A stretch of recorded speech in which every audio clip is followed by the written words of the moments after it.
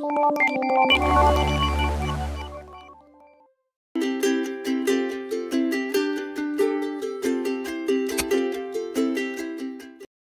Assalamualaikum guys. Selamat datang kembali ke Kiza Channel. So pada hari ini saya nak share video pendek je iaitu berkaitan dengan macam mana kita nak tukar background belakang kita, nak hide background belakang kita bila kita on webcam tapi kita tak ada green screen. Ha macam mana? So kita ada satu aplikasi percuma yang kita boleh kita download dan install dan diberi nama Chroma Cam. Kita hanya pergi kepada browser klik chromacam.me dan tekan enter. Kemudian anda akan sampai ke laman web Chromacam dan anda boleh tekan try for free. Anda boleh download dan install dan gunakan untuk kita tukar background belakang kita tanpa ada uh, green screen atau blue screen dan sebagainya. Sebagai contoh saya dah install. So saya tunjuk. So ini adalah chroma cam saya. So basically saya tak ada green screen kat belakang saya ni ataupun blue screen. So sekarang ni saya nak tukar background. So saya boleh guna chroma cam dan kita saya pilih saja uh, background yang sesuai dan saya boleh pergi live menggunakan StreamYard ke, YouTube live ke, Facebook live ke ataupun nak guna dekat dalam Google Meet ke, Microsoft Teams ke, Zoom dan sebagainya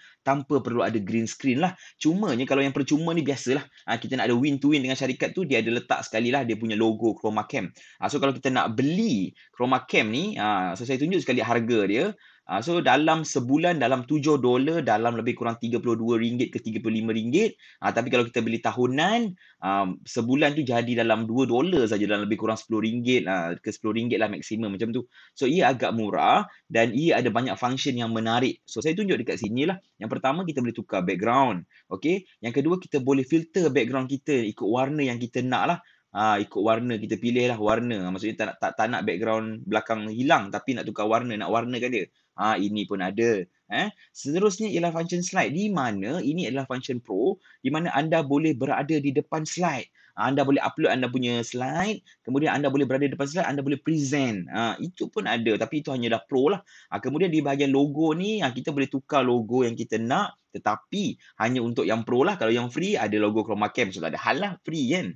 Alright. Kemudian kat setting, kita boleh main macam-macam lah. So, bagi saya ialah salah satu aplikasi yang berguna, sebab saya guna dia untuk uh, StreamYard. Sebab StreamYard saya, saya, saya tak ada green screen. Jadi, melalui chroma cam ni, dia boleh bantu saya untuk tukar background walaupun saya tak ada green screen. So itu sahaja video saya pada kali ini. Terima kasih kerana sudi menonton. Jangan lupa like, comment, share dan subscribe sehingga kita berjumpa lagi. Assalamualaikum.